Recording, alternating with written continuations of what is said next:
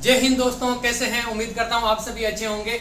अभी अभी आई है हमारे लिए एक महत्वपूर्ण सूचना, एक बहुत ही इंपॉर्टेंट सूचना, जो आपके राजस्थान पुलिस की पेपर 14 मई 2022 की सेकंड शिफ्ट का पेपर जो रद्द हुआ था, जिसके लिए मुख्यालय की तरफ़ से आपके 22 जून 2022 डेट मुकर की गई थी। लेकिन दोस्तों, उस डेट को भी आज आप लोगों के लिए आगे कन्वर्ट कर दिया गया है। उसको आगे प्रस्तावित कर दिया गया है। तो आप लोगों को इस पेपर के लिए कम से कम आपको 10 दिन और मिल गए हैं तैयारी के लिए। तो जो अभ्यर्थी, जो भाई बहन इस पेपर की तैयारी करे थे, जिनके दोबारा ये पेपर था, चौदह मई सेकेंड शिफ्ट वाला पेपर, जिनके 22 जून को देना था, उन लोगों के लिए ये तारीख 22 जून से आप लोगों के लिए 2 जुलाई शिफ्ट कर दी गई है।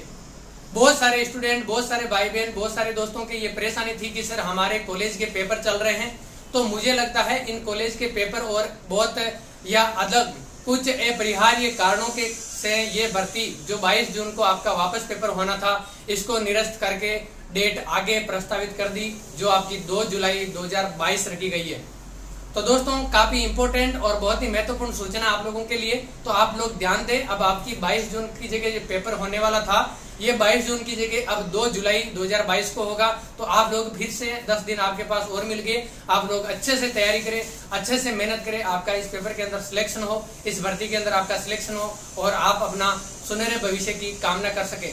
इन एडवांस में आपको बेस्ट ऑफ़ लक दूँगा। और आप लोग अपने पेपर के लिए अभी से ही लग जाए, फिर दस दिन के लिए और टाइम टेबल बनाकर। जय हिंद, जय भारत।